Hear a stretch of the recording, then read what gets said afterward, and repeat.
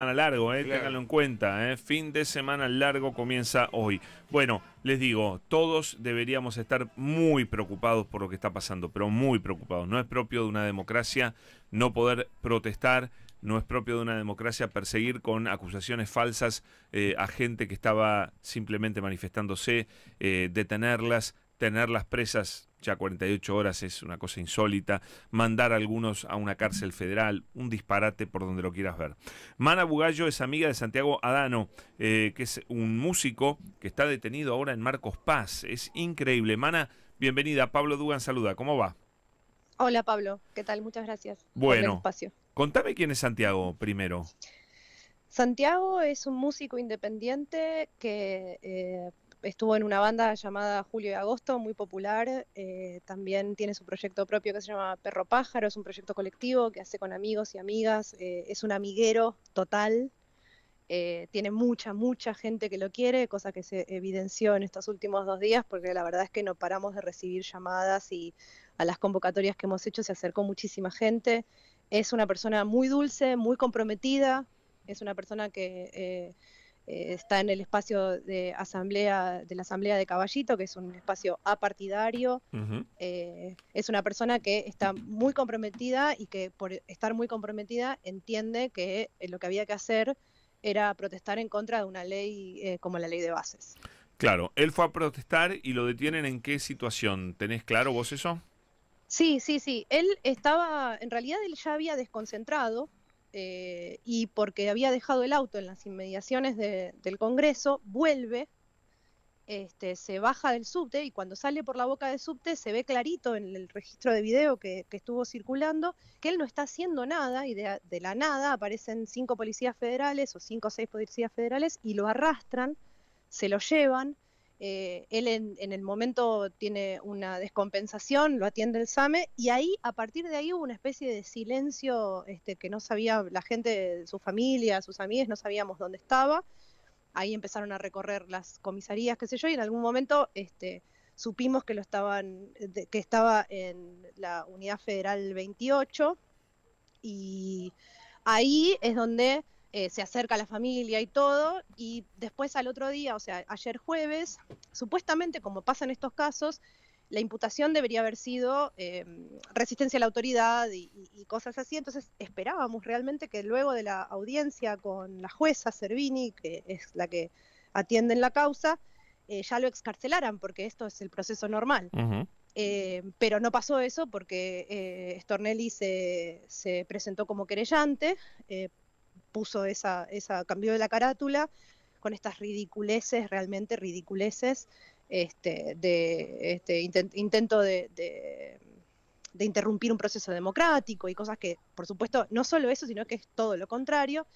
Y ahí este, nos desayunamos con que no solo que no lo van a escarcelar, sino que está, eh, lo quieren imputar por estas cosas gravísimas.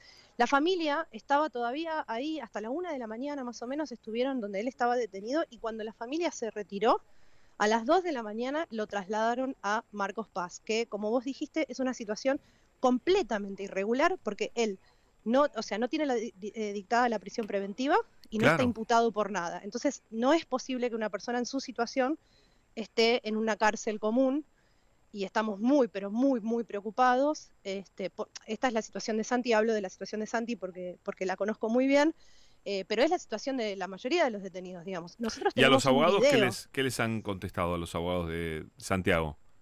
Lo que sabemos es que hasta las 7, más o menos, eh, la jueza Servini tiene el tiempo para eh, dictar la escarcelación que se pidió, que la defensora pública pidió ayer a las 7 de la tarde, o sea, son 24 horas.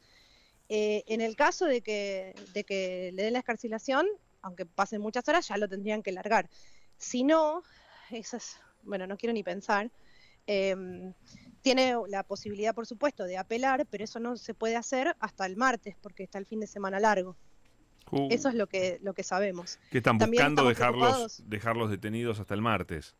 Sería una sí, Yo creo que la, sí, yo creo que la voluntad, por, por el accionar de, de, la Fiscalía, eh, lo que están apuntando es a que, a que personas que no tienen realmente ningún, ninguna este, intención de interrumpir ningún proceso democrático, ni nada violento, nada por el estilo, se pase días y días adentro de una cárcel común como si fueran delincuentes, cuando en realidad lo único que estaban es, protestando. Y este es el caso de Santiago. Después están los vendedores ambulantes que se llevaron, o sea, está el caso de, la familia Ocampo, que son un, padre, una hija y una nieta, que estaban guardando las cosas porque tenían un puesto de empanadas y se los llevaron este, la, esposa del vendedor está desesperada, por supuesto, le, se, llevaron sus garrafas, si nos puedes nos puedes contactar con ellos, este, estaría bueno, ¿eh? con esa familia. Sí, por supuesto. Eh, ahora la producción te, va a pedir. Bueno, Mana, gracias por contarnos esto. Estamos todos pidiendo la libertad eh, de Santiago Dano. Esto es una locura total y vamos a seguir con el tema. Muchas gracias. ¿eh? Muchísimas gracias. Chau. Mana Bugallo, eh, explicándonos, obviamente, mm, ella no tiene por qué saberlo, eh, Stornelli no se presentó como creyente, sino que lo, que hizo fue imputarlo por un delito gravísimo. Con eso traba eh, la salida. Está en línea Roberto Torres, abogado defensor de Mario Di Rocco y Germán Moyano. A ver quiénes son y en qué situación fueron detenidos. Hola Roberto, bienvenido, ¿cómo va? Hola, ¿qué tal? Mucho gusto. Yo soy Roberto Torres, abogado del Centro de Profesionales por los Derechos Humanos, un organismo de derechos humanos que conformamos junto a Miriam Bregman, entre otros abogados. Perfecto. Contame la situación de Mario Di Rocco y Germán Moyano. ¿En qué situación fueron detenidos? No, eh, como, como de público conocimiento, había una manifestación en contra de, de la ley de bases por todo el contenido de ataques a los derechos eh, a derechos laborales, a derechos de, de, los, de los jubilados.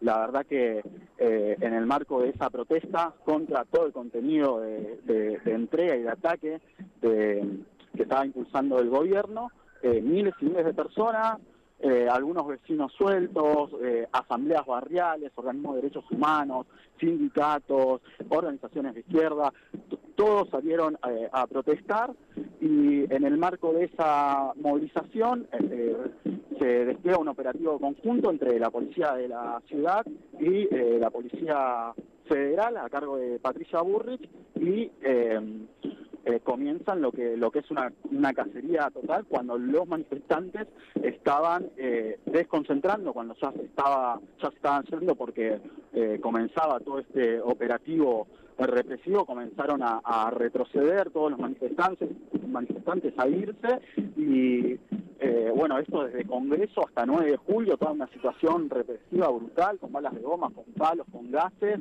y eh, luego de llegar a la 9 de julio comienza una cacería brutal a todos los manifestantes que se estaban retirando de, ese lugar eh, y bueno, en ese marco a unas cuadras de, del obelisco detienen a eh, a quienes eh, en este caso eh, defiendo. Uno de, los integrantes que, no mencionamos, Mateo, es un, es un compañero de nuestro organismo de, del CEPROP y es estudiante ¿Pero qué estaban haciendo cuando, cuando los detienen? ¿Qué estaban haciendo? estaban yendo a la casa, estaban yendo, estaban caminando a la casa. Nosotros No fueron detenciones en el marco de una situación de violencia no tiene nada que ver con una situación de violencia. Nosotros, es más, presentamos eh, videos de segundos antes de la detención en donde se muestra a todos nuestros detenidos retirándose, caminando de una forma completamente eh, pacífica y eh, en ese en ese contexto segundo después de lo que muestra ese video que nosotros eh, estamos presentando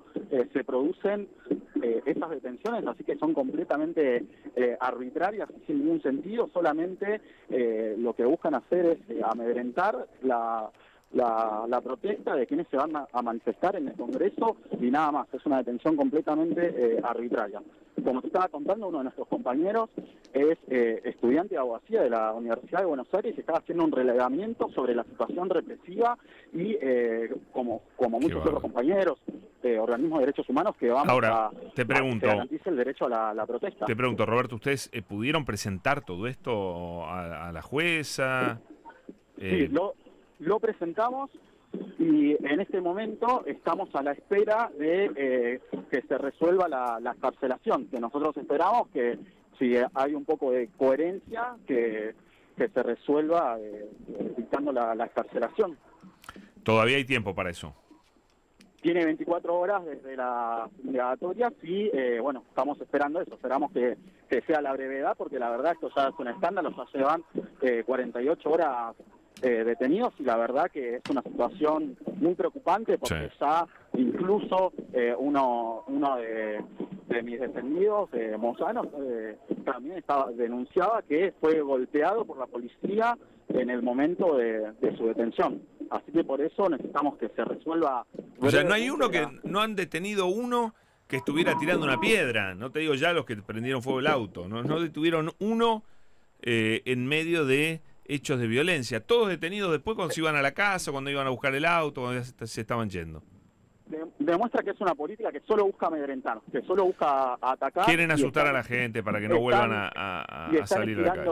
Están estirando esta situación, la están haciendo lo más larga posible porque obviamente van con salen con disparates de sedición, de, intentan atentar contra la Constitución y un montón de ridiculeces que no tienen nada que ver con lo que pasó por eso eh, y que entendemos esta situación y que entendemos Roberto no van a poder sostener en la justicia no se va a poder sostener insostenible porque no hay una sola prueba un solo indicio que indique eh, que algo así pasó y, nosotros tenemos un montón de pruebas que indican esa situación. Para comentarte más yo llegué al lugar porque también estábamos haciendo eh, un relevamiento sobre la situación represiva minutos después de que los intentan detener y los estaban acusando de que... O sea, pero que, quede claro, no van a poder probar ni la sedición ni el golpe de Estado, pero tampoco van a poder probar que tiraron una piedra porque no lo hicieron. No, porque no lo hicieron, porque no lo hicieron y eh, eh, intentan decir que había que tenían piedras.